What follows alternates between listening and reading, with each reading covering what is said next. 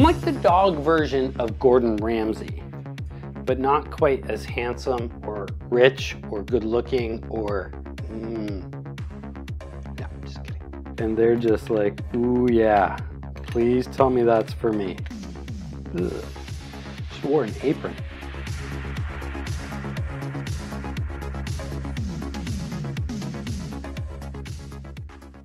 Hello and welcome to another episode with the Toronto Dog Whisperer. In today's video, we're gonna be making our own raw food diet as an example of what you can do at home. And if you have the ambition and the time and the desire to make your own raw food for your dog, this is gonna be a quick example of how to do it. By far, the easiest solution if you wanna feed your dog raw food is just to go buy it and purchase it from somebody who makes the raw food. But uh, what I'm going to be showing you today is raw food diet and how to make um, a simple recipe at home. So let's get to it. First things first, I want to make sure that I tell everybody very clear right from the get-go, I am not a subject matter expert on dog nutrition or raw food or anything like that. The, this is just a demonstration of what you can do at home if you have the desire to make your own raw food for your dog and then just go to the grocery store and go from there. Okay, so before we get started, I'm gonna give you uh, an idea of the equipment that you're gonna need. Uh, I try to keep this as simple and as straightforward as possible, things that you would probably already have at home. Nothing fancy here. This is for the average dog lover not like an aficionado of, of raw food or anything. If you want to purchase equipment later on to help you, if you decide to do it, great. But if you want to just try it out for a week or two or a month, this uh, basic setup should get you through it. So what do we have here? Just some like basic containers, some stainless steel bowls. I have a, a scale here for weighing different portions and stuff like that. I have some Ziploc bags some cling film. Obviously, you're going to need a knife. Uh, I have a pair of scissors, cutting board, uh, some rubber gloves if you get a little bit squeamish or don't want to really touch too much raw food, especially raw chicken. So this might be an option. I don't think I'm going to go with these, but I might. And this bad boy, which is a blender. Now, you can use a blender. You can use a food processor if you have one at home. I just happen to have a blender. And a lot of people have a blender at home versus a food processor, or maybe they don't. I don't know. Before you go to the grocery store to get all your lovely ingredients for your dog's raw food diet, um, you're to want to start out with a target for how much you're to feed your dog. That's to vary greatly from dog to dog. Every dog is different. The thing I would suggest is, is with any type of dietary change that you're to make with your dog, make sure you consult uh, your veterinarian or a dog nutritionist to see what is appropriate for your dog. If your dog is super young or super old or has any dietary uh, restrictions or health issues, those are all going to change how much you feed your dog.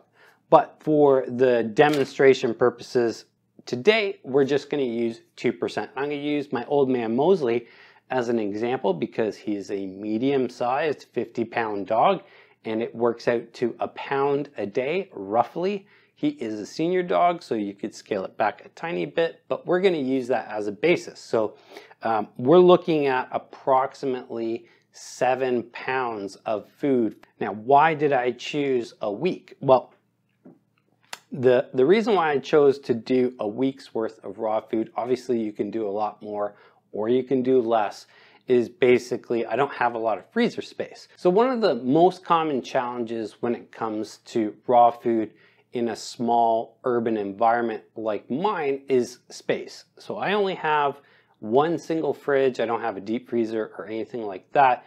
And let's face it, if you're a single person or you're a young couple who has a dog, you live in a condo in an urban area and you want to feed your dog a raw food diet, this is a practical issue that does make it a little bit more challenging.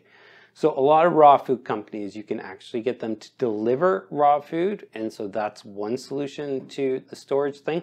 But what I'm going to be showing you today is how to make your own. So when you make your own, you need a lot more storage space because you have the basic raw ingredients and then you make the food and then you have to store the food. So a week works out just about perfectly for me. Before you start going and getting your, your meats, it's important to understand what you need and how much your dog is going to eat. Every dog is different and there's a lot of variables in terms of how much you're going to feed your dog, age, activity level, health, a whole bunch of stuff. But if you use a basic starting point, then you can always tweak it from there. So I'm using Mosley. He's a 50 pound dog. It works out to one pound of raw food per day. So over a span of a week, that works out to seven pounds. So I'm going to be making about seven pounds. Maybe I'll make a batch for Mackenzie as well. She's my second dog. And uh, we'll see. We'll go from there.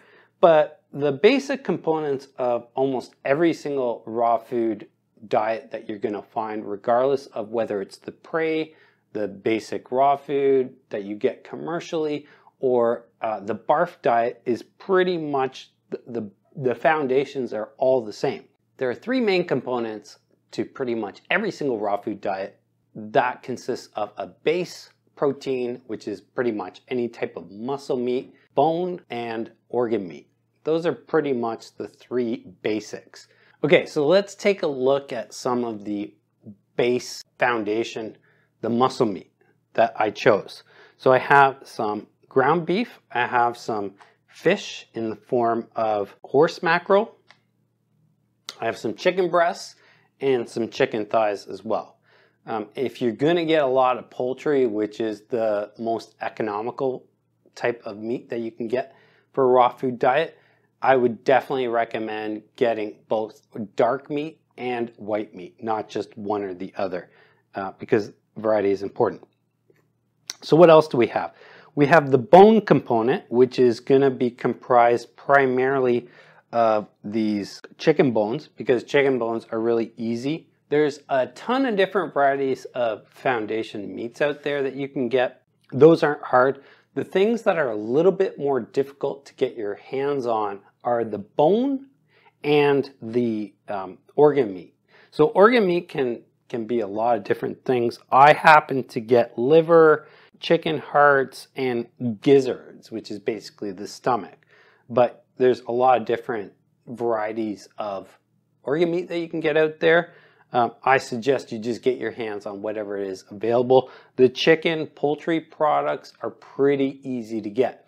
When it comes to the bone-in portion of your raw food diet, chicken is by far the easiest to get a hold of.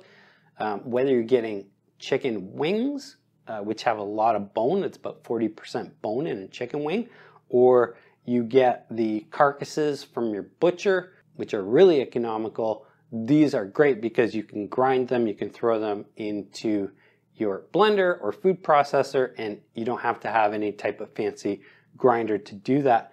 Um, there's also going to be a bit of bone in the fish because these are whole fish.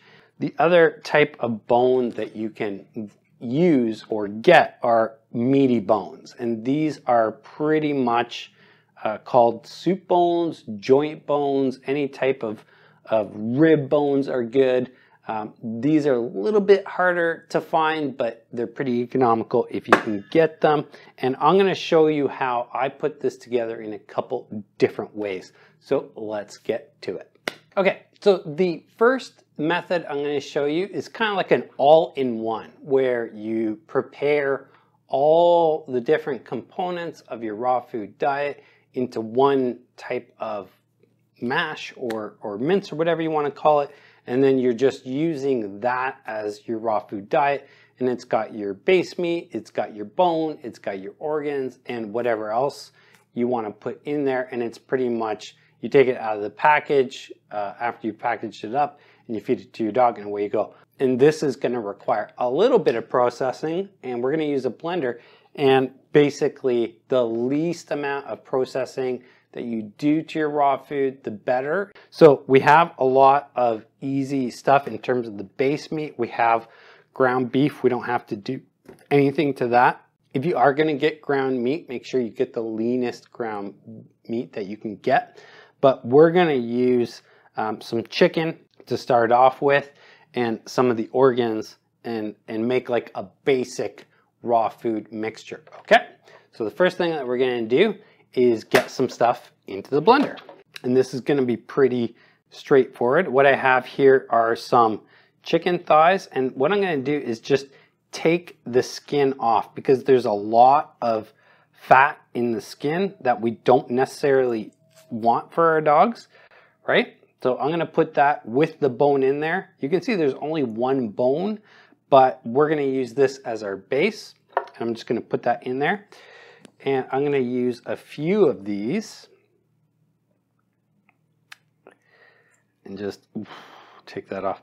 If you're squeamish, if you're a vegetarian, uh, this maybe isn't the best thing for you to do. However, it is really good to know exactly what is going into your dog's food. It's, it's pretty much the ideal scenario.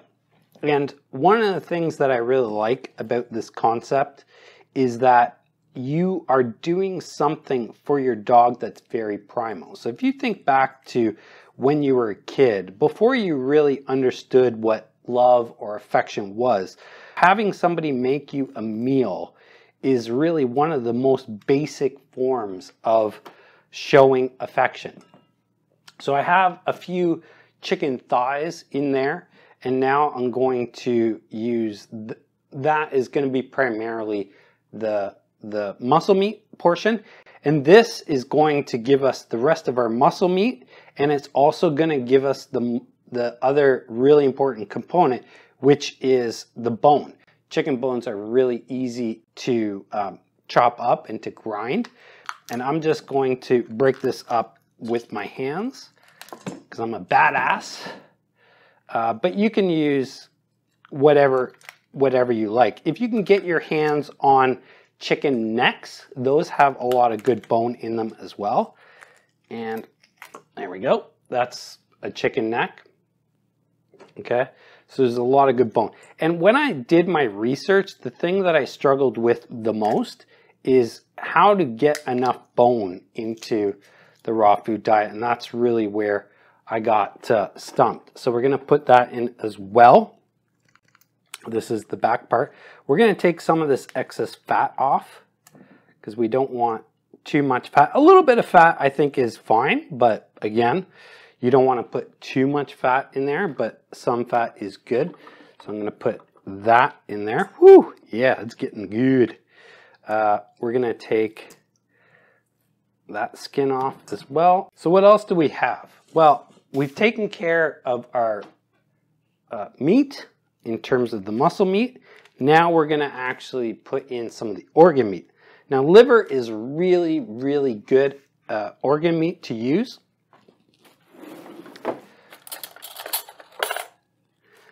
But you don't want too much liver making up your your organ meat. So we're going to use a bit of that. And I did weigh the approximate portions out before. So we have our liver, we have our base meat, we have our bones. Now we're looking to do some more organs. And again, variety is good in terms of the research that I did. If you guys have any tips and you've done this kind of stuff before, please put some comments below. Help me out. Like, give me some better ideas in terms of what to do. Now, these little guys are chicken hearts. And they're pretty uh, easy to find if you go to your butchers. And you can either put these in for your organs or you can use these just as like treats. Like you can literally just give your dog one of these.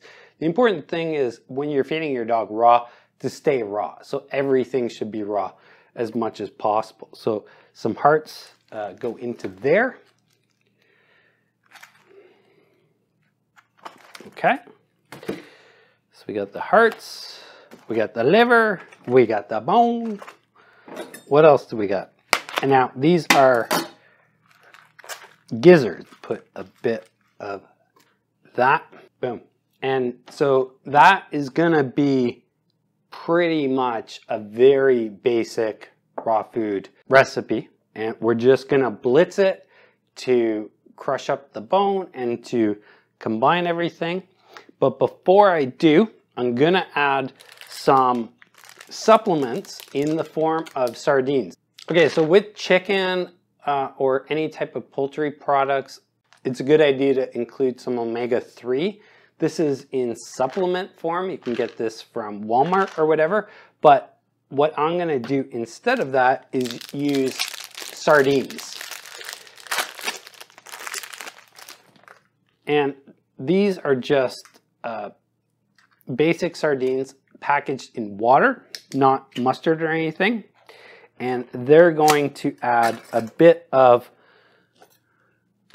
whoops, so I'm just gonna add all this. Stinks a little bit, but that's okay. Dogs love stinky stuff. So boom, there you go, the whole can. It's definitely a messy job. If you have somebody that can help you out, that's ideal. And put uh, some of the blood that ran off from defrosting in there like that. I'm like the dog version of Gordon Ramsay, but not quite as handsome or rich or good looking or eloquent or whatever. All right, so we got pretty much everything in there for our basic raw food recipe. And I just have to figure out how to put this on, bada bang. And we're just gonna blitz it or pulse it or whatever you wanna call it. Fingers crossed.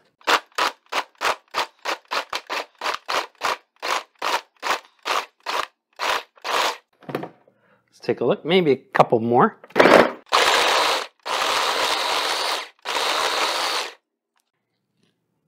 All right, that looks good. Well, it's going to look good to the dogs. It, it, it might not look that good to you or I. Mmm. okay, there you go. There's a shot of what it looks like. So what we're going to do now is just take this out. And this is pretty much done. I am going to show you something else that I forgot to add, which is eggs. So last but not least, we're to put a couple eggs in there just to add some calcium and some really nice protein for the dogs. And we're to add the whole eggs. Make sure you wash these really well Dogs love it. Ready? Ooh, there we go. So we just put the lid on.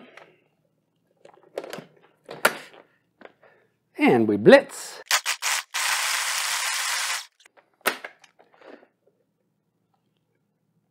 Lovely. Ooh. Let me tell you something. Uh, the dogs are going to love this, but uh, for me personally, it kind of it's a little gross. I'm not gonna lie. It stinks a little. Okay. So what we're gonna do now is weigh what we got. I did weigh all these portions ahead of time just to make things a little bit quicker. But now that we have it done, that's pretty much it. Mm. No, just kidding.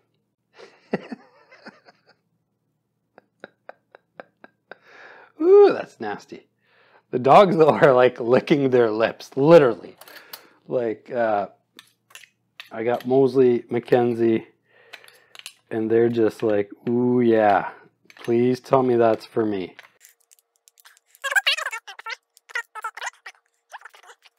All right.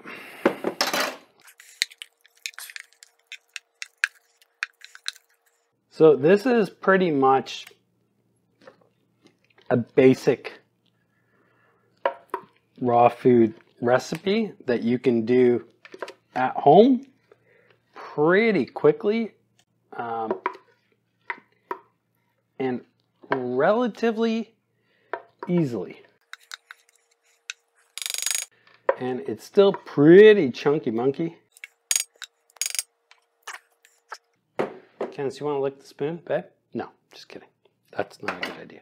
Okay, so we got about 1.2 kilograms, which is about three pounds. So that's right there, about three portions or servings for your dog. You can use some cling film to separate out the meals, throw them in the fridge, and that's it. So we're looking for approximately half a pound because I feed Mosley twice a day.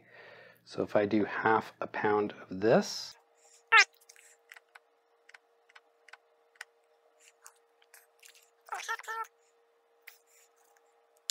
Okay, I'm not, so that's about half a pound. And we're just gonna wrap it up. Bish bash bosh. Boom. There is one portion, so I'd give Mosley two of these a day. That's got everything in it already. It's got eggshells, got sardines, it's got chicken, it's got bone, liver, hearts, lots of good stuff. You can see there's still some pretty big chunks in there, but nothing too big. It's pretty processed. So I'm gonna go ahead and portion this out. And while I'm doing this, I'll give you a little bit of idea about the costs because cost is usually one of the drawbacks to raw food. And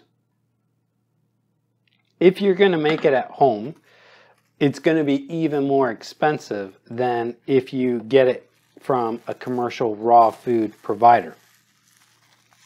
However, you know exactly what goes into your dog's diet. You don't have to worry about how processed it is or what kind of meat they're using. And to be frank, if if you have a little bit of spare time and you really, really care about your dog and you are in a financial position to do it, I'd say go for it. Give it a shot. It's not going to hurt. I mean, Mosley is turning 12 in a couple weeks. So this is his birthday gift is to go on raw food for a week and just to see how he does. He's already super healthy. He's 12 years old he's very active and stuff like that. So I'm not concerned. He doesn't have any health issues. Uh, the vet says he's in fantastic shape for a 12 year old or for any dog, really. But um, he is getting a little bit older. I mean, well, 12 is more than a little bit old. Ugh. Should have worn an apron. I did a podcast with a dog nutritionist a little while ago if you want a lot more really good information about dog nutrition, definitely check it out. One of the ideas that came out of it was hey, look, is this feasible? Is this something that the average person can do at home? And I was like, yeah, you know what? Let's let's try it. If I can do it, pretty much anybody can do it because I have literally no idea what I'm doing. So what you guys are seeing is the first time that I tried it. I did a really quick dry run last night when I was prepping for uh, filming today. But other than that, I've never done this before. It's I've always seen raw food packaged in um, large boxes that look like basically hamburger patties. So we got one, two, three, four days worth of, of raw food out of that quick little thing that I just made. So there you go. Just in that, you know, five, ten minutes, it took me to put that stuff together. We got one, two, three, four days worth of food for Mosley, all ready to go. Don't need to add anything into it. It's all ground in there. You can eat it and away you go. And this is uh, the basic, basic, basic raw food recipe that, that I want to show you. That's it guys, I hope you enjoyed this video. I know I really enjoyed making this video. If you liked it, hit that big thumbs up, give me a like, it really does help. Every little bit helps. make a comment. Let me know what you think. If you have any recommendations for other raw food dog recipes, let me know and I'll see you in the next video. Remember, if you love your dog, take them for a walk. Till next time, take care.